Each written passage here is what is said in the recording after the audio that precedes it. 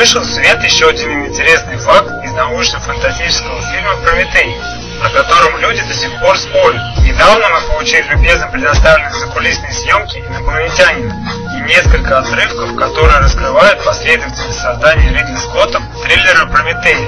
Вы прекрасно помните ключевую сцену в конце «Прометея», в которой Дэвид, очень старый Питер Вейланд, Элизабет и несколько головорезов решили, что это хорошая идея разбудить последнего уцелевшего инженера. Он выходит из гиперсна, Дэвид что-то ему говорит на его инженерном языке. После этого инженер начинает рвать всех на куски. Большинство людей подумали, что Дэвид сказал что-то невероятно обидное, что вызвало ярость инженера. Учитывая, что Дэвид не ценит человеческую жизнь, многие люди так и думали. Но на самом деле это не так. И на удивление Дэвид спросил, что хотел Уэйланд. Итак, давайте перейдем к переводу. Дэвид беседует с инженером в протоиндоевропейском древнем языке, предком индоевропейских языков, таких как испанский, английский, немецкий, болгарский и другие. Вероятно, это один из древних диалектов в истории человечества. Если вы помните, в начале Прометея Дэвид учит языки с голографическим наставником. Диалог между Дэвидом и инженером показан без субтитров. Доктор Даниэл Билтон, работающий в языковом центре в Лондоне, была в качестве лингвиста в составе съемочной группы фильма и дала интервью. Инженер выходит из криосистемы и отвечает «Зачем ты здесь?». Затем Вейлон спрашивает, что он сказал. И шоу прерывает разговор, пытаясь спросить о Грузии и какова была их миссия. Но парень ударил ее. Затем Дэвид говорит именно то, что хотел Вейлон. И этот человек здесь, потому что он не хочет умирать. Он считает, что вы можете подарить ему бессмертие. На что инженер ответил ему, что этот человек сделал такого великого, чтобы получить больше жизни. И тут Вейл вступает в разговор, говоря, «Ты видишь этого человека?» указывая на Дэвида. Моя компания построила его из ничего. Я сделал его по своему образу, чтобы он был совершенным, поэтому он никогда не умрет. Я заслуживаю этого, потому что мы с тобой создатели, мы боги, и боги никогда не умирают. Вскоре после этого инженер отрывает голову Дэвида. Последняя интересная деталь, о которой я хочу упомянуть, состоит в том, что, возможно, инженер видел, как один из людей Вейланда ударил Шоу, и он понял, что даже после 2000 года человечество не изменилось и все еще является жестким и опасным видом. И он решил выполнить свою первоначальную миссию. Инженеры рассматривали людей как ошибку и неудачный эксперимент. И встреча с ним после пробуждения доказала это еще раз. Кроме того, когда инженер замечает, что люди эволюционировали намного больше, и теперь они способны создавать высокоразвитых андроидов и путешествовать к далеким звездам, он решает их истребить. Технологический прогресс сделал людей еще более опасными для себя, инженеров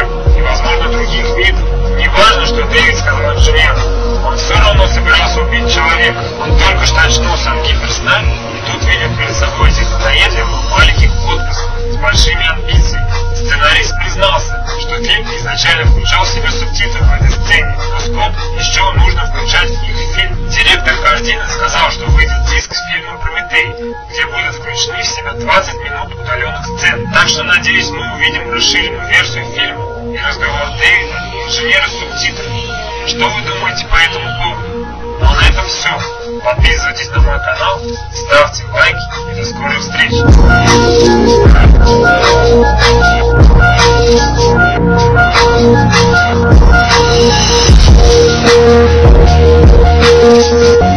Давайте сегодня разберемся, что Дэвид сказал инженеру в Прометее.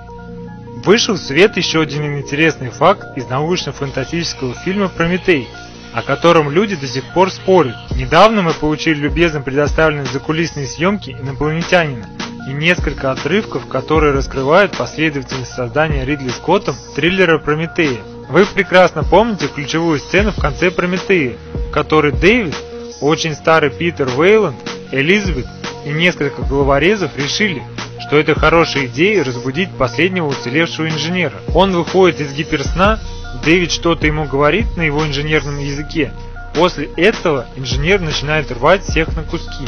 Большинство людей подумали, что Дэвид сказал что-то невероятно обидное, что вызвало ярость инженера. Учитывая, что Дэвид не ценит человеческую жизнь, многие люди так и думали, но на самом деле это не так. И на удивление Дэвид спросил, что хотел Вейланд. Итак, давайте перейдем к переводу. Дэвид беседует с инженером в протоиндоевропейском древнем языке, предком индоевропейских языков, таких как испанский, английский, немецкий, болгарский и другие. Вероятно, это один из древних диалектов в истории человечества. И если вы помните, в начале Прометея Дэвид учит языки с голографическим наставником. Диалог между Дэвидом и инженером показан без субтитров. Доктор Анил Билто, работающая в языковом центре в Лондоне, была в качестве лингвиста в составе съемочной группы фильма и дала интервью. Инженер выходит из криосистемы и отвечает «Зачем ты здесь?». Затем Вейлон спрашивает «Что он сказал?».